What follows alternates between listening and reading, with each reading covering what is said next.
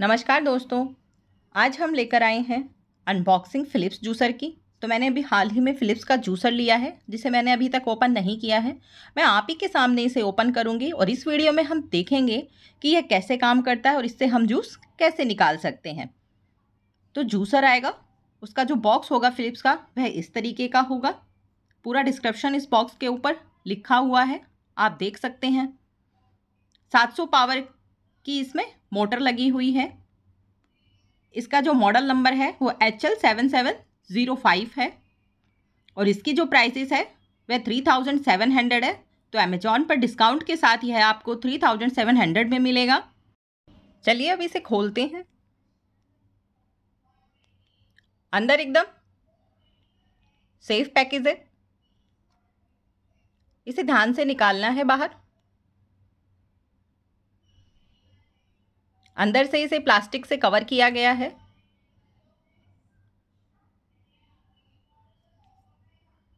साथ में इसकी एक मिनी बुक आई है,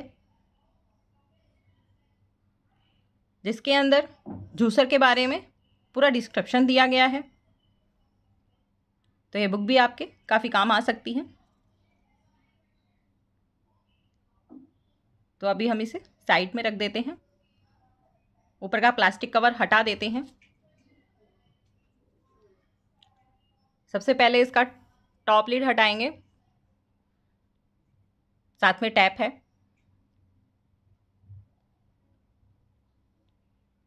चारों ओर से देखिए, ये जो कंटेनर है जो आपको प्लास्टिक का दिख रहा है यह पल्प के लिए है।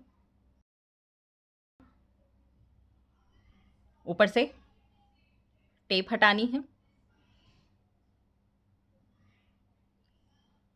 यह प्लास्टिक का है। जो कि फ्रूट्स को प्रेस करने के लिए है। सेफ्टी लॉक हैं, जो कि नीचे से खुलते हैं, दोनों साइड से। आपको ध्यान में रखना है, यह नीचे से खुलेंगे। टॉप का लीड है, देखिए प्लास्टिक का। यह ब्लेड है, जिसके द्वारा जूस निकाला जाता है। और यह सबसे नीचे का।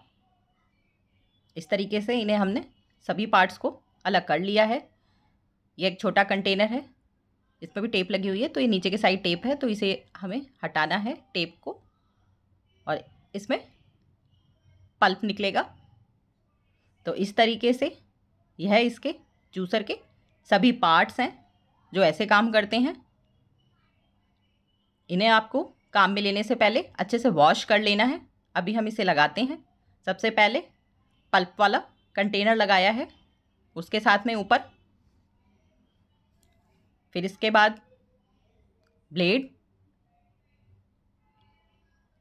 सबसे टॉप का लिड। अभी अच्छे से इसे सेफ्टी लॉक से बंद किया और सबसे टॉप से इसे कवर किया। तो इस तरीके से जूसर के पार्ट्स को हम अलग करके फिर हम, हमने इसे जोड़ा है। तो इस तरीके से ये देखिए, ये फ़िलिप्स इसमें बटन्स हैं। तो जूसर के लिए इसे एक पर करना है। और ज़्यादा देर नहीं चलाना है। साथ में वायर है तो वायर की जो लंबाई है, वह भी काफ़ी अच्छी है। टैप भी इसमें निकलती है तो राउंड घुमाएँगे तो यह बाहर निकल जाएगी इजीली। और वापस प्रेस किया और राउंड घुमाया तो यह अंदर के साइड चली गई। तो निकालते हैं गाजर का जूस।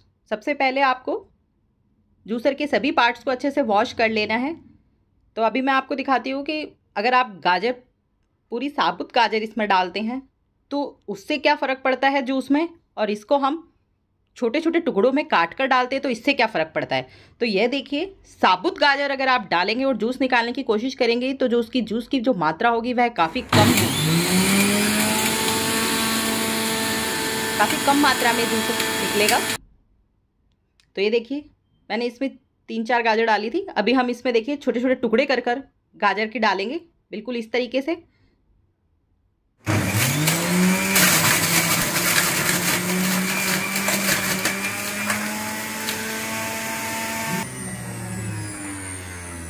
तो देखिए हाफ़ ग्लास इसमें जूस का आ चुका है।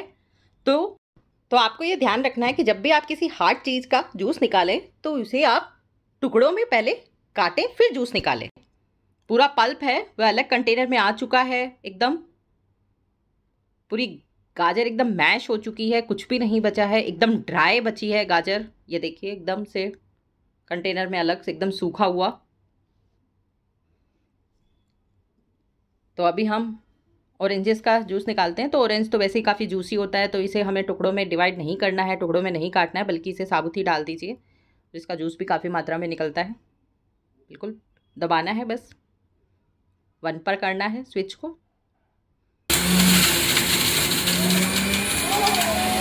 वाह ये देखिए। पूरा।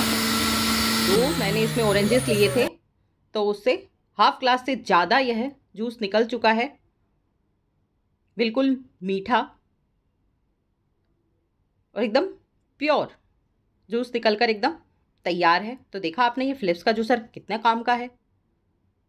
अंदर से देखिए इसके जो बीज हैं, वह भी इसमें नहीं पीसे हैं। वरना जो जूसर मिक्सर ग्राइंडर होते हैं ना, उनमें जब हम जूस निकालते हैं तो वह एकदम कड़वे बनते हैं क्योंकि उसमें बीज भी पिस जाते हैं।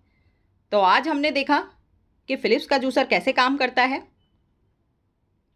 अगर यह वीडियो आपको पसंद आया हो, चैनल अच्छा लगा हो तो आप मेरे चैनल को लाइक शेयर और सब्सक्राइब ज़रूर करें।